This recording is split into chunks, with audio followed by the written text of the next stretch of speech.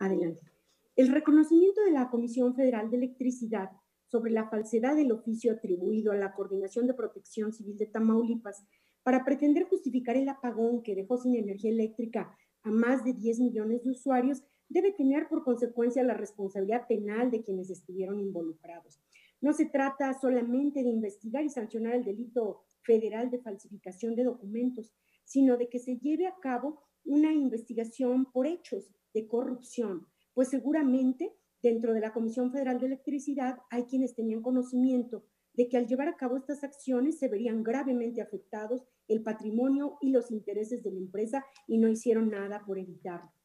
Tan lo saben en la Comisión Federal de Electricidad que sus declaraciones quieren minimizar el hecho de la falsificación, destacando que el incendio sí ocurrió, pues saben que negar la verdad es un delito de corrupción, esa que se supone que ya se había acabado en este sexenio.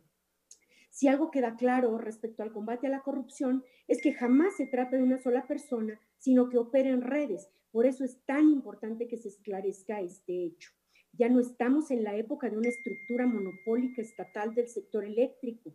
Ahora la Comisión Federal de Electricidad requiere de conducirse como un agente económico en el mercado eléctrico, como un generador que vende su producción y el presidente de México no tendría que estar dando explicaciones sobre lo que sucedió y, tampoco prometer que ya no va a repetirse, porque eso contraviene los principios de libre competencia económica plasmados y envía señales intervencionistas en detrimento de los objetivos del Estado de impulsar inversión y competencia conforme a la ley de la industria eléctrica. Es inadmisible que estando en un país en el que se pueden aprovechar fuentes de energía alternativas como las renovables, solar o eólica, el apagón esté siendo utilizado como un pretexto para atacar a quienes la generan. La Comisión Federal sostiene que se pone en peligro la confiabilidad del sistema eléctrico nacional dada la energía intermitente que se genera por esas fuentes. Y entonces no habrían países en Europa que dependen de estas fuentes renovables, que por cierto ellos no han experimentado estos tipos de apagones.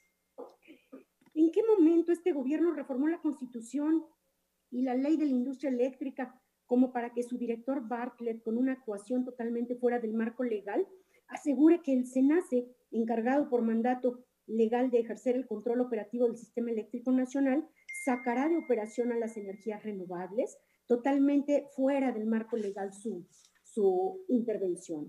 ¿Cómo es posible que un incendio de pastizales haya afectado a la red eléctrica de nuestro país en 17 estados? Parece inaudito.